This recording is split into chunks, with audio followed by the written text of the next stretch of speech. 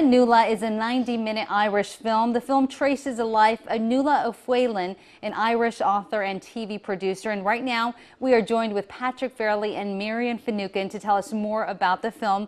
Welcome. Thank you so much for joining us today. Thank you very much indeed. So tell us about your role in the film.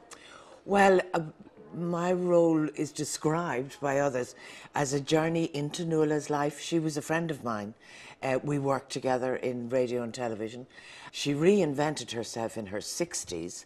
She came to the United States and started a whole brand new life, having gone through a lot of difficulties because it's a very complex life. Yes. Um, and she was diagnosed with cancer.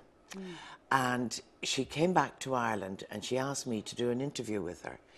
Unlike other people who would gently accept, Nuala just railed and fought and hated it. And she did an interview with me on the radio that was the most downloaded podcast ever in the oh, history wow. of Irish radio.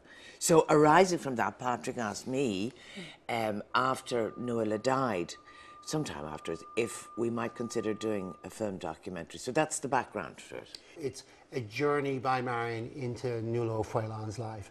But so she was a very, very brilliant kid. Uh, and then went on to be a great kind of academic and documentary maker and so on. And, you know, but had a string of relationships with men, which I suppose in many ways reflected her parents' relationships. Difficult relationships, short lived, and so on. Uh, until at the age of 40, she actually began the first monogamous relationship of her life, which was a 15 year long relationship with Ireland's best known lesbian feminist you know, writer and, and broadcaster.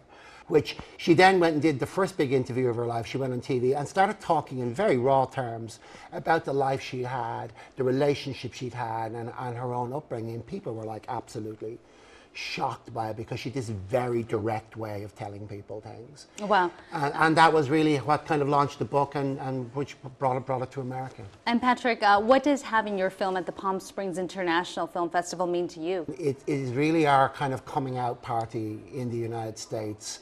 And, you know, and it's such a great venue.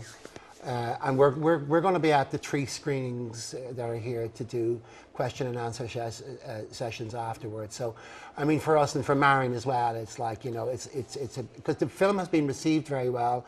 We've been at two other festivals, one in Dublin where it won Best Film, and then we were in Vancouver where it won the Audience Award. So it's been received very well.